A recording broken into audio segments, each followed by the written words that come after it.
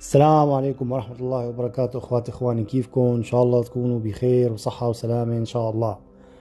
اليوم جايب لكم فيديو كمان ظريف ومثل ما بيقولوا فشة خلق يعني بصراحة لكل المسلمين بسبب آه تتذكروا آخر فترة الانتقادات اللي إجت من آه ماكرون حول آه سيدنا محمد صلى الله عليه وسلم. وبالإضافة إساءته للإسلام وتحريضه على كره الإسلام. وبنفس الوقت كان عم يوصل فكرة للناس إنه يعني والعياذ بالله إنه سيدنا محمد إنه هو شخصية ما لا آه، مثل ما عم ينحكى عنها. وبالإضافة إنه الصور اللي انرسمت.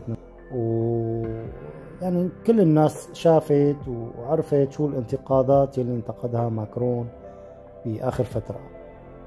رب العالمين سبحان الله يمهل ولا يهمل يعني رب العالمين بعت له مثل ما بيقولوا فركة إذن صغيرة يعني تمام؟ إنه هيك نكشة صغيرة من عند رب العالمين. والله بعت له حدا منهم وفيهم سلخوا كف مرتب ما راح ينساه طول حياته. يعني هذا الكف اللي أكله أنا بظن إنه ما راح ينساه طول حياته. تفرجوا شو صار تفرجوا. تفرجوا كيف؟ متحمس وجاي عم يسلم على الناس. طق بيتفاجأ. بكف. ما راح ينساه بحياته. الله أكبر.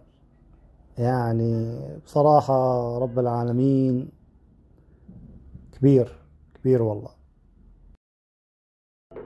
مثل ما شفتوا هذا الموضوع يعني بصراحة أنا برأيي إنه بيستاهلها يعني بيستاهل هذا الشيء اللي صار.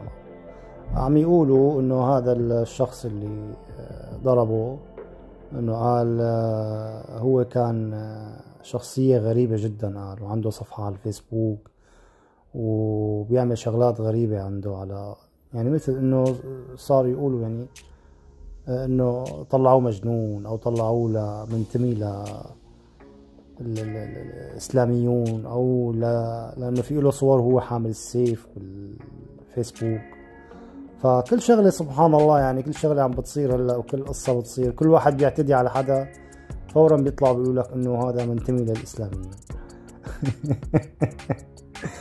يعني سبحان الله قد ما عم يحاولوا يعملوا يساووا ضد الإسلام ما عم يطلع بإيدهم شيء ولا عم يطلع بأمرهم شيء الله أكبر منهم كلهم ورب العالمين هو اللي بيعز الإسلام والمسلمين بإذن الله.